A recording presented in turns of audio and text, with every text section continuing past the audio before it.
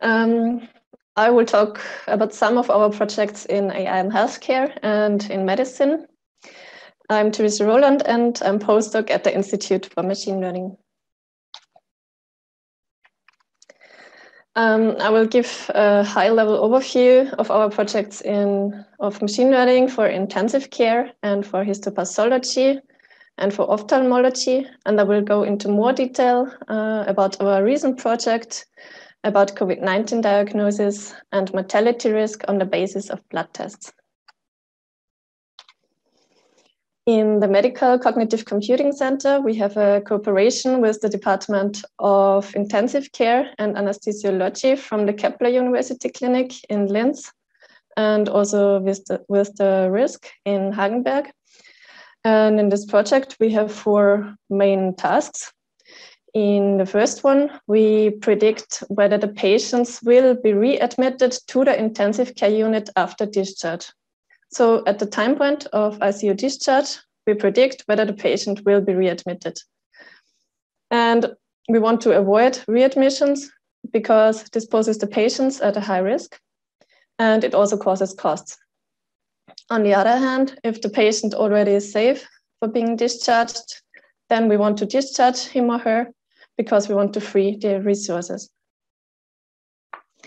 Then we also do mortality prediction at the time point of the emergency room admission. So at this time of the admission, only very few features are known. So we know, for example, the age, the sex, body temperature, blood pressure or heart rate of the patient. And we train machine learning models on these features, and then we predict whether the patient will survive or die within 30 days. And this is just an exemplary um, label. So we also predict, for example, whether the patient will be admitted to an intensive care unit. In the cardiac instability, we predict whether the blood pressure will drop into a critical level, so below a certain critical blood pressure threshold. And we give an alarm uh, early enough to still allow an intervention so that the patient doesn't drop into this critical range. In the blood transfusion, we predict whether a blood transfusion causes complications within the next few days. And such a complication can be, for example, kidney failure. We have a project in the field of histopathology imaging, and here we have a cooperation with the Department of Pathology also from the Kepler University Clinic in Linz. And histopathology imaging always works with tissue sections. Tissue sections are very thin cuts of human tissue. And this is then stained. This is the so-called H&E staining. And this gives this uh, pink bluish images. And if you zoom in, then you can see the cells and also the nuclei of the cells. And on the basis of these images, we do, for example, a classification whether the tissue is tumorous or non-tumorous, or we, or we classify the, the molecular subtypes. This can be uh, important, for example, um, because the molecular subtype can define whether the tumor is very aggressive or not, how the disease will progress, or how susceptible the tumor is for chemotherapy. Uh, a special thing to mention here is that these uh, histopathology images are very high resolution images. So they are in the gigapixel range and we cannot process them at once on the GPU.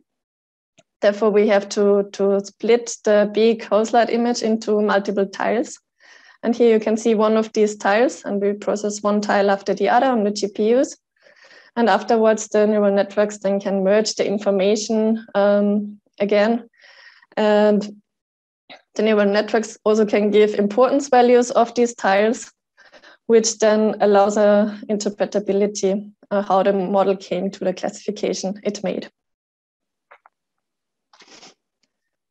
Um, we have a project in ophthalmology with the Medical University from Vienna. This project just started. Uh, ophthalmology is a very important field in medical imaging because a lot of people are affected by eye diseases. So, worldwide, uh, 900 million people suffer from blindness or severe vision loss. This is mainly caused by age-related macular degeneration or diabetic retinopathy. And then there's also a vast amount of OCT images and fundus images around, because if you go to an eye doctor, then they routinely take an OCT image. We want to process uh, this amount of images and then make objective diagnosis. We also want to make predictions of the disease progressions. We want to uh, predict how patients will respond to specific therapies. And we also want to extract biomarkers. So these are uh, features which define how the disease will progress or how um, the patient will respond to therapy. And we also want to extract subpopulations, so-called clusters of patients with specific disease progression or therapy response. so now we come to the COVID-19 diagnosis on the basis of blood tests. And these blood tests are enhanced by machine learning models. And we built the machine learning models for in-hospital application. The RT-PCR tests have some disadvantages, so they are very expensive and slow. And you always need staff who, who takes the swab, and you always need, need a lab who does the testing procedures. So that the testing capacity somehow is limited. and this is especially the case in developing countries. In the hospital, the inpatients are routinely only tested at the time point of the admission, and outpatients might not be tested at all for COVID 19. and antigen tests have a limited accuracy. Therefore, we suggest to use the COVID 19 diagnosis on the basis of blood tests. And to enrich this blood test with machine learning is, is very cheap and also fast. And we can scan the routinely acquired blood tests with the machine learning models. So these blood tests are not, are not acquired additionally, so they are acquired anyways in the routine process. So this allows a very broad screening in the hospital because a lot of blood tests are taken every day in the hospital. These, these COVID-19 diagnosis based on blood tests can be a substitute or a replacement of the antigen tests. Again, we take the features. So here we have the blood test features and we also add age and sex of the patient. And then we train the machine learning model and we predict whether the patient is COVID-19 positive or negative. And we do the same thing for the COVID-19 positive patients, where we predict whether the patient will survive or die with corona. We take the blood test of the year 2020 from the RT-PCR tested patients and we merge them with the test result. So we take the blood tests up to 48 hours before the PCR test. We merge them. And based on this blood sample, we then predict the PCR test result. And we also take the blood tests from the year 2019. and we assume that these are all negatives because COVID 19 was not around at this time in Austria. And this then gives us about 79,000 negatives and 1,000 positives. We achieved pretty good results with these models. So for COVID-19 and mortality prediction, we trained different models and random forest has about 0.965 ROC AUC. And the ROC AUC just is a metric that we use in machine learning and it tells how good positives and negatives can be differentiated.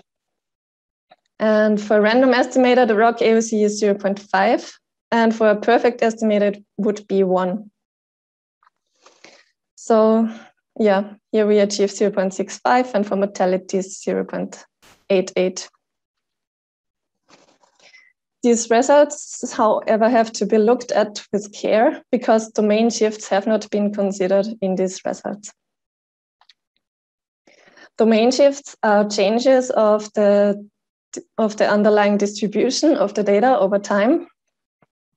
And this can affect the, the machine learning models, so the predictive performance can drop because of the domain shifts. And also the model credibility can be affected. And such domain shifts obviously occur during pandemics. For example, the age of the newly infected patients uh, changed, or the testing strategy changed, or the lockdowns can also affect the demographics of the people who get infected. And virus mutations might affect um, the blood tests of the positive patients. So we had a look at our blood test features, how they, if they changed over time, and we indeed see some fluctuations.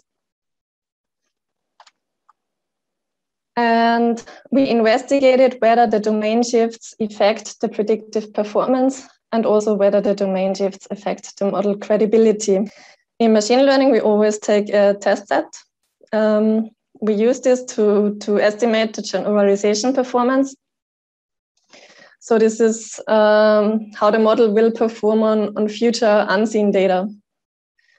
Um, if we randomly sample the test set from our whole data set, then we get a ROC AUC of 0.965.